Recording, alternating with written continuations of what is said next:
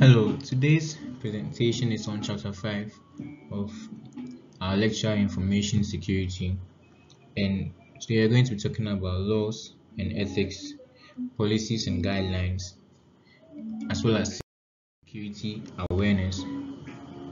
Okay, and these are the group members. Okay, and as I said earlier, I'm going to be talking about law and ethics, policies and guidelines and security awareness. Alright, so mm-hmm. today's objectives are going to be basically centered on talking about law and information security. We're going to talk about ethics and information security, policies, standards, and practices that are important to information security and how information is classified we're talking about cyber and information security. We're also going to talk about security education, training, and awareness programs that are undertaken in the process of information security. Okay, so continuing, we're going to talk basically about you know information security is one very important aspect of every every every of our everyday lives because basically we do everything by communicating which involves a lot of transfer of data and information which we might want to protect and take care of so today's um, today's presentation is going to basically talk about the laws and ethics that guide the process of information security. I'm going to talk about some policies and all that we can put in place to ensure that information is really safe and secure. And also how to make people aware or create an awareness for security that um, for security of, of information. Right so these practices aim at securing data and computer system and networks. Okay and what this means is that some ethical issues are the core of cybersecurity practices. And these practices are increasingly required to secure and protect the ability of human beings and individuals to also live safe and know that their information or whatever data that they work with is also secure. So we're going to talk about law and information security. Okay so information security law is, is very important. It deals the body of legal rules and codes as well as standards that are needed to protect information and make sure that the systems which um, which, which which which require information are also protected from unauthorized access. Okay. So all these legal um, issues and all these things are put in place to ensure that information is really secure. So some laws are put in place to ensure that all information that is being dealt with whether with the company or with individuals are protected from unauthorized access and from being tampered with. Okay. So we're going to talk about before we talk about information security laws there are many types of laws different types and we have some civil laws we have criminal laws tort laws some private and public public laws. Okay so civil laws basically has to do with laws that that that govern the interactions or has to do with um, legal actions between normal people in the community. That's between civilians in the community. So for example where you have somebody take a case of a land a land issue with someone else to court. So it, it has to do with it has to do with um, an argument over something between two civilians or two common members of or common um, citizens of, a community or the country I should say. All right so criminal law also has to do with um, um, legal issues that are concerned with criminal activity. You know anything that's criminal that's taken to court is is dealt with by criminal law. Yeah. and we have tort law which also an example can be a subversion of civil law which basically has to do with um, the destruction of property of the those kind of things. So when someone destroys something of yours and then you take it to court for legal assessment is is tort law that is put in place to ensure that the case or whatever it is is dealt with properly. So these are just some basic examples of some type of laws that we have in a system. And what we are focusing mainly on is going to be uh, information security laws okay? So we're going to talk about some relevant laws that are in place to ensure cyber security in our everyday lives. We have the Cybersecurity Enhancement Act of 2011, which basically addresses federal cybersecurity and the development of technical standards when it comes to cyber security and comes to information handling. Or we have Cyber Intelligence Sharing and Protection Act, which also focused on information sharing and coordination and coordination and sharing of classified information among individuals and probably companies too. We also have Counterfeit Access Device and Computer Fraud and Abuse Act of 1984, which basically is aims at prohibiting and actually stopping attacks on on federal computer systems and and especially those that are used by banks, interstate and foreign commerce, and such companies. Uh, so we have the Electronic Communication Privacy Act of 1986, which actually prohibits unauthorized eavesdropping on electronic devices. Okay, so we can talk about many of these federal laws. We are continuing here. We have some Computer Act Security of 1987, the, the Paperwork Reduction Act of 1995, the Clinger-Cohen Act of 1996, which also made up of agencies that are responsible for the adequacy of agency information security policies. Yes, and all of these things. So all of these um, laws are aimed at ensuring information security. So these are relevant laws that are very important for ensuring information security when it comes. You know, these are very important for ensuring information security. So without these laws, many times security with regards to information is not really really secure because you cannot really protect them protect the security of, of the information that's being handled without these laws in place. Okay, so we also have some international laws and some legal bodies that are responsible for ensuring that these laws are are, are enforced and then so that um, information is really really kept secure and safe. So some councils has also, have also been created in Europe um, to address cybercrime.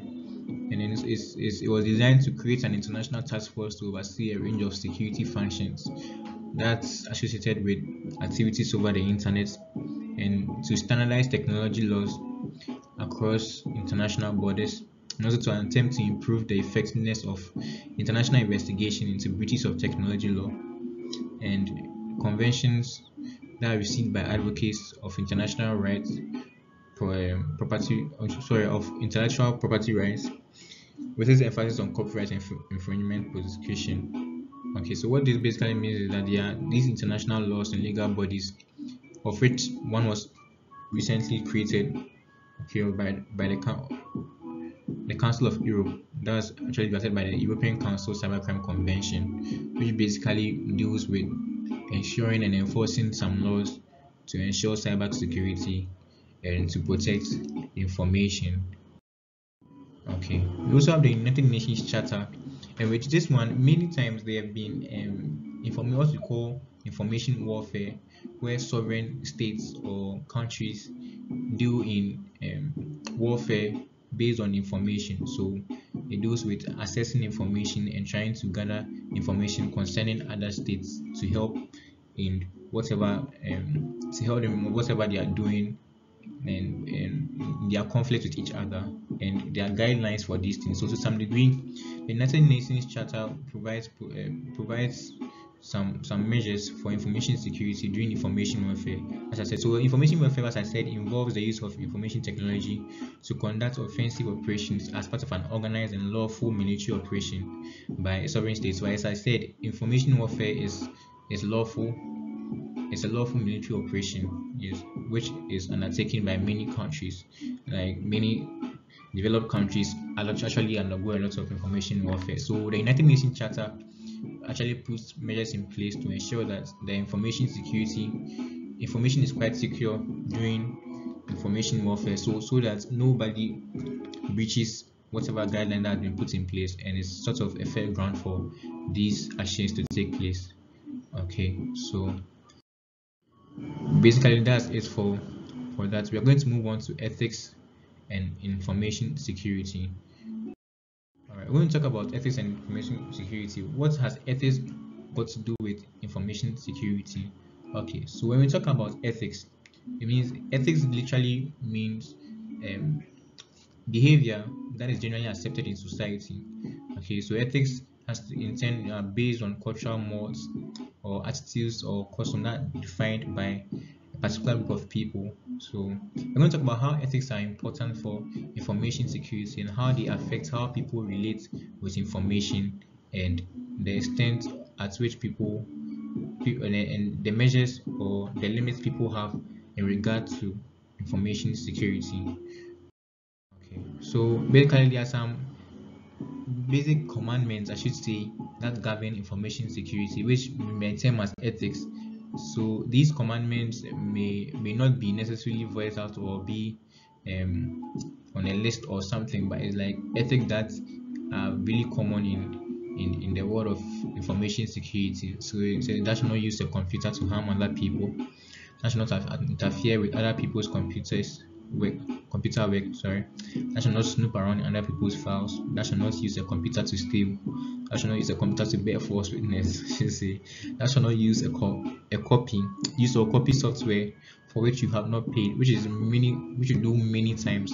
That's in the case of piracy, which you do so many times. You have copied movies and music or whatever that you've not paid for and it also talks about thou shalt not use other people's computer resources without authorization.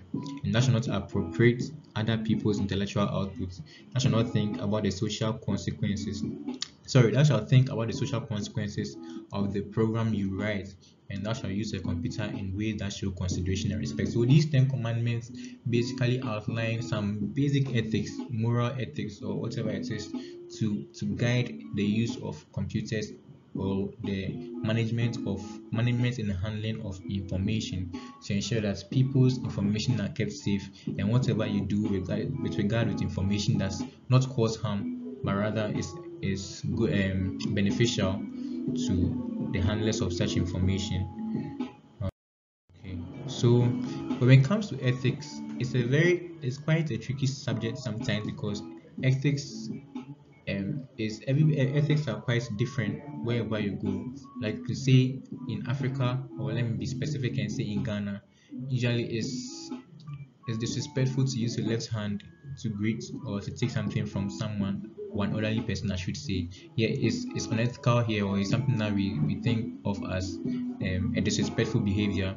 But in the third world, in the Western world or in other developed countries, it's not really a big deal. So over there, people don't consider such things as, as disrespectful or unethical. So ethical differences across cultures can really affect the system of information security. So differences in cultures cause problems in determining what's ethical and what is not. So just like I said, when it comes to information security also, the ethics about it is usually dependent on where you are and the people who are dealing with such information. And studies of ethical sensitivity to computer use reveals that different nationalities and people from different places also have different perspectives about what is ethical with the use of computers and the use of information and what's not. So this where some difficulties also arise in the ethical behaviors of of of users of computers or people who handle information across different nationalities or different borders. Okay and so we have ethics and education so this is especially important in areas of information security because when you are dealing with um, personnel of companies or personnel of of information information based um, firms you they have they may not have the formal technical training to understand that whatever it is they do can be classified as ethical or unethical. So ethics really have to be taught on. So the education on ethics when it comes to information security is actually very important because many people may not know that they, their actions may be illegal or unethical. So such education must also go into. So employees also must be trained to kept to be kept sorry and kept aware of multiple topics topics that are related to information security okay so all this legal training is also very important in creating and, and managing and, and bringing out the best personnel who are involved in in the use of data in such companies and such places okay so we have the association of computer machinery which is a respected professional society established in 1947 as the world's first educational and scientific computing society. Okay, so Association of Computing Ma Machinery has a code of ethics that requires that its members also um, and partake in some or perform some duties which which is which is befitting or is, is acceptable is, is, is, is, is classified as an acceptable behavior in ethical computing. Okay so such these codes also contain specific reference to protecting confidential information that also leads to or that's also aim that also aims at making sure that these these ethics or these codes prevent harm from being caused and and and on uh, uh, against the privacy of other people and also to respect the intellectual property and copyrights of others. So acm that's the association of computer machinery just has these codes of ethics you know so that people or members of of, of, of, of the association abide by and helps that and helps them to to have a clear-cut set of codes and et, et, and ethics sorry that will help them to protect information and also ensure that ethics are not people based but then we are all together following a particular set of codes so that the, the concept or the problem of people having different beliefs of what is ethically wrong or right might not interfere with the process of protecting or ensuring that information is safe. Okay so we also have the computer security institute which, which provides information and certification on, on computer networking and security of information security pers personnel. Okay so eh, that's not actually promote particular one single certificates by also what it does that it provides the computer security institute provides a range of technical training classes you know for areas of internet security intrusion management network security forensics and technical networking.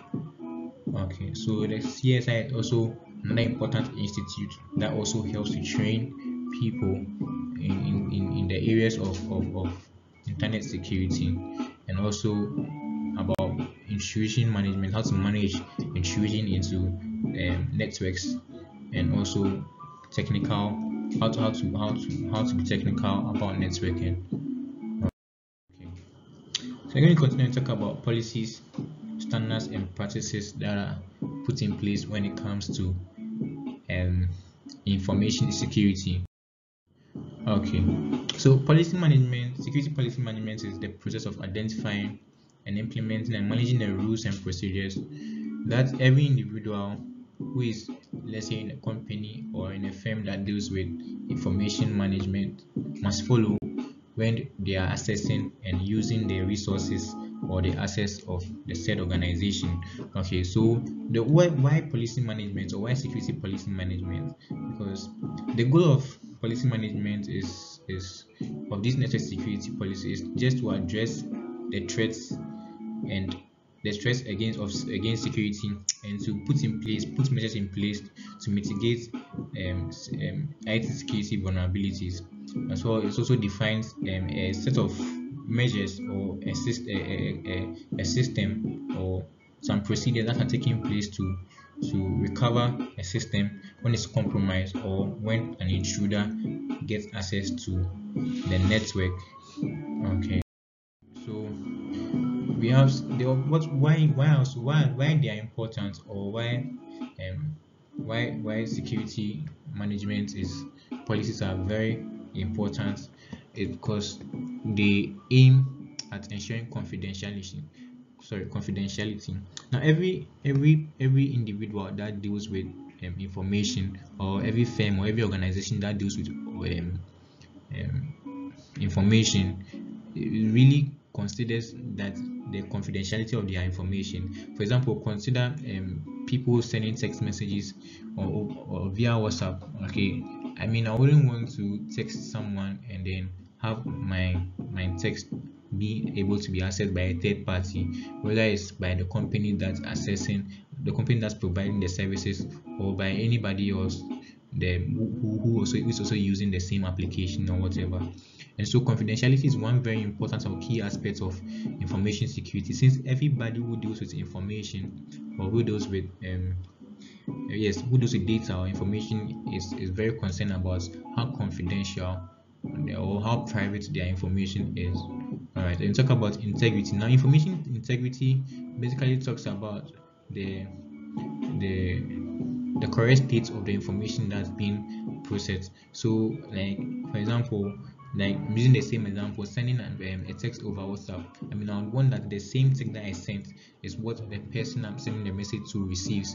Or i don't want to come and then realize that whatever message i sent has been misinterpreted or it's not the same message that was received at the other end of communication. Okay i'm going to talk about availability of such resources. So security management policies also uh, aims at, at, at ensuring availability. So means that whoever is authorized to access such information over whatever network uh, is has a continuous access no matter what time it is to whatever whatever information that is kept there.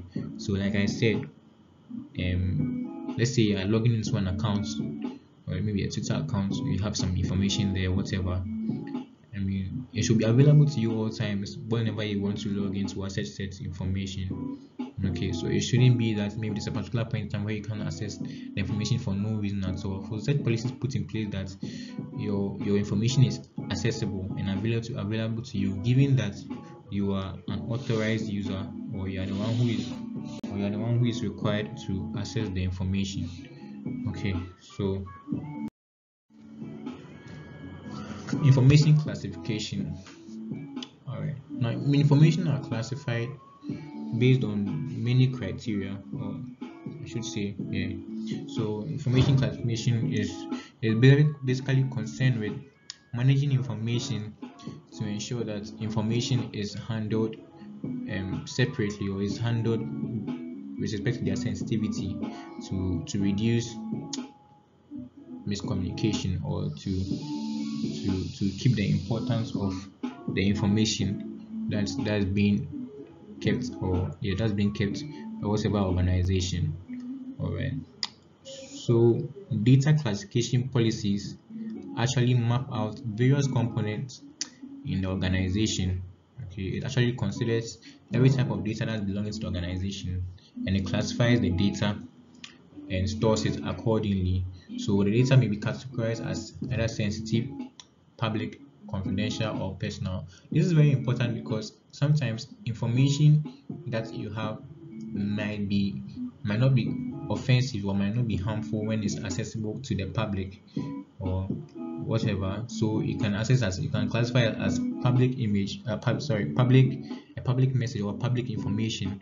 And we also have some information that is sensitive which might also be classified as sensitive because they might give they might be offensive or they might be easily misinterpreted by unauthorized people who may access the information. And some information might be confidential because they might not necessarily be for everybody to access and some information might also be personal. So information classification is also very important in information security because when it's information is classified properly it helps to put some method some sorry some measures in place to know how to best protect and keep safe whatever information that is being put there okay so we're going to talk about security education training and awareness.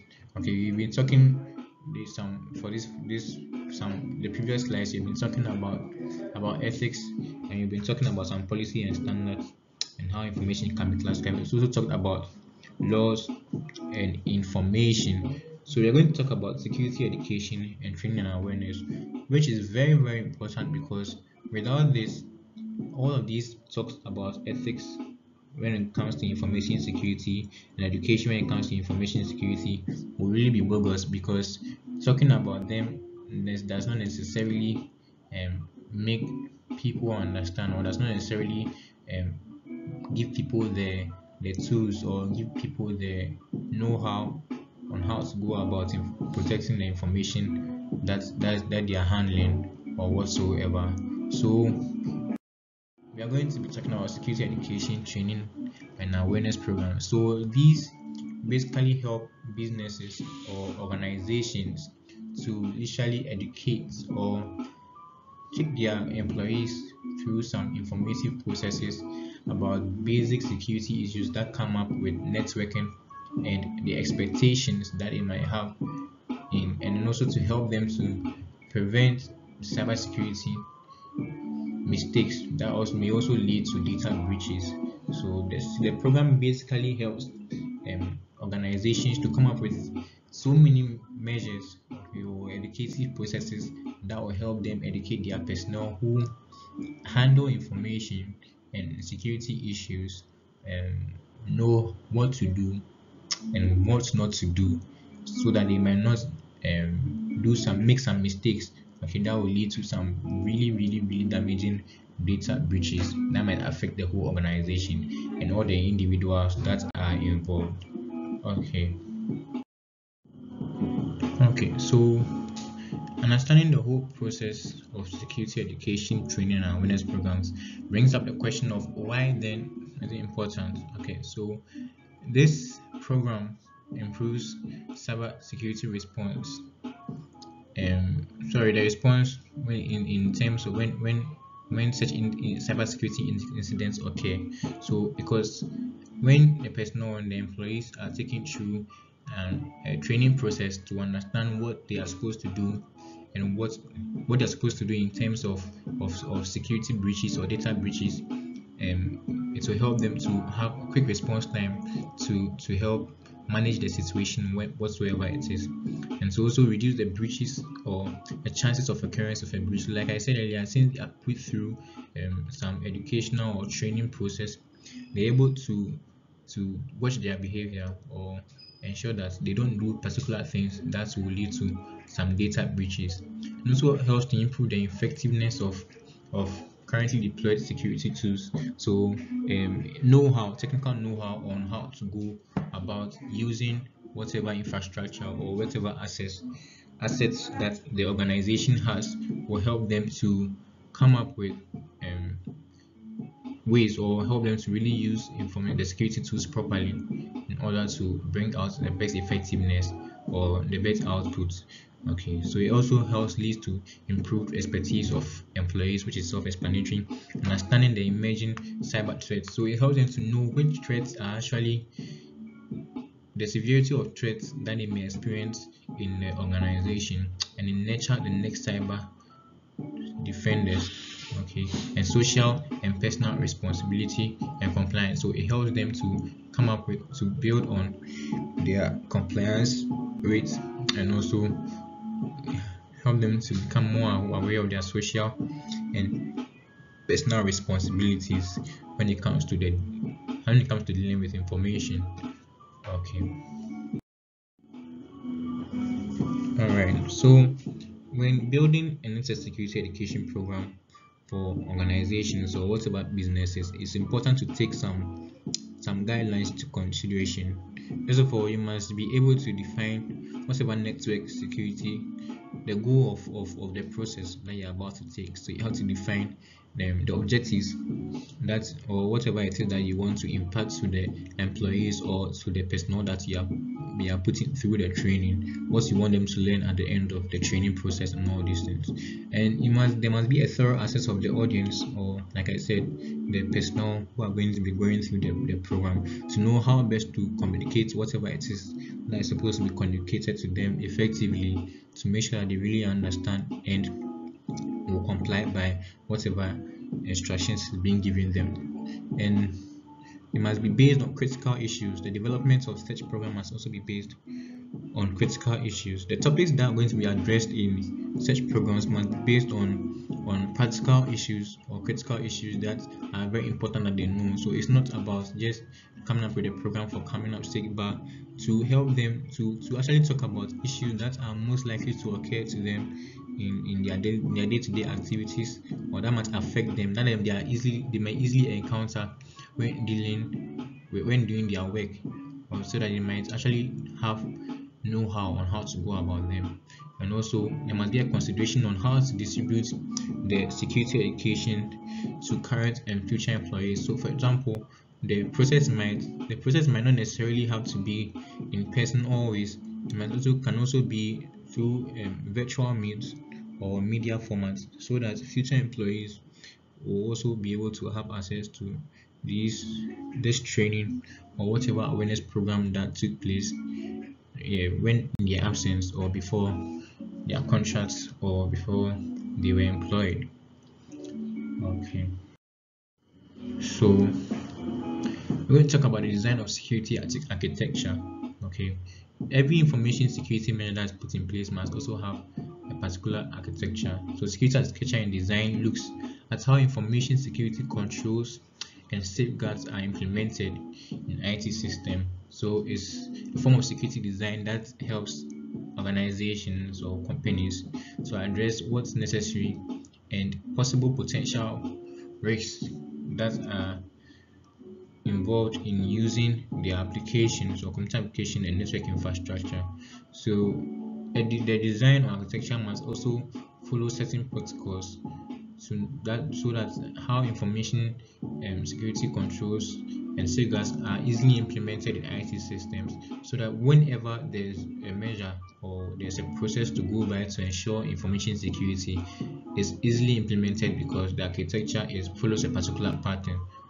Okay so okay so we're going to talk about components of security architecture. All right now security architecture basically consists of three major components. Okay these components these components are the tools that are used the people who are involved and the procedures that are followed in the design and implementation and managing process of security features. All right so like i said are the tools the people and the procedures that are involved in the design and implementation of security features all right. So with whatever security feature that's being that's, that's being brought up with it must follow a particular architecture.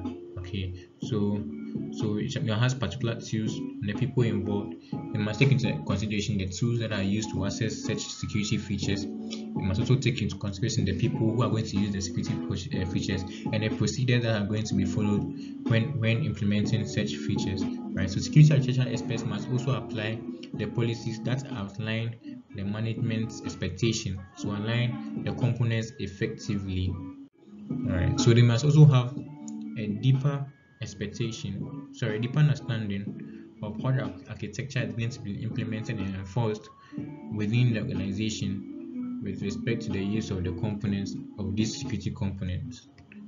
Okay, I'm going to talk about more about components of security architecture. Now, talking about security architecture, we have firewall. The components of security architecture, we have fire, fire firewall, which is basically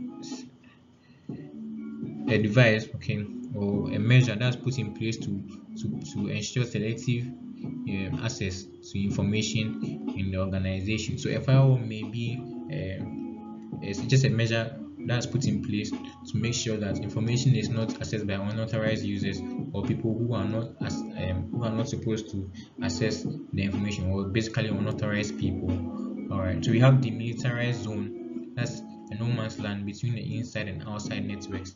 Some companies place web servers there okay, to ensure that people that like literally as the name means that's a no man's land. The demilitarized zone okay is the area between the, the inside and the outside networks okay where or not. So people are not really given access to because of sensitive information and how important such places are right? So you have intrusion detection systems.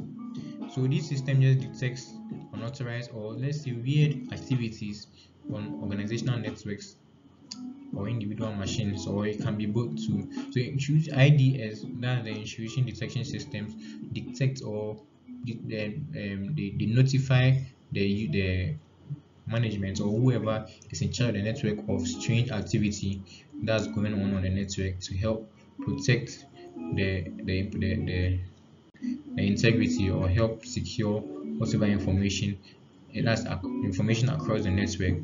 Okay. Right so that brings us to the end of our slides or our presentation for today. So basically we spoke about the laws and information okay we spoke about some laws that govern the use of information, some some acts that protect information use. We also talk about ethics and information security. We're talking about how some we talk about the ten commandments of computer use, and then we talked about how ethics also differ based on the cultural backgrounds or the level of education of individuals who are using such information. We talk about policies, standards, and practices that are put in place to ensure that information is safe and, and, and right. We're also talking about information classification, how information can be classified based on the, either their sensitivity or classified into whether they can be public, they can be sensitive, they can be private or either confidential. That's basically based on the content of the information that's gathered. And finally, we talked about security education and training awareness, which has to do with program a program that's that's um, respective to whatever organization. And and we also talked about how measures the, the, measures can be put in place to to to take the personnel and the employees of such organizations which deal with information to um, measures that can be put in place to teach them or take them through um, a tutorial on how to go about data breaches and how to take how to behave themselves in the workplace and what to do and what not to do to ensure that data breach is does not occur. And in the case of a data breach what they must do and what what they might they, they must they must do and what they might not do in order to ensure that the system is recovered successfully or the system is recovered with um, the least least least um, damage to the system okay. And we also talk finally about we also talk finally about security architecture. Okay. Which talks about how every system every organization has a particular security system or architecture that's based on the personnel they used and how their system practically works. Alright. So this brings us to the end of our presentation on law and ethics policy and guidelines and security awareness thank you very much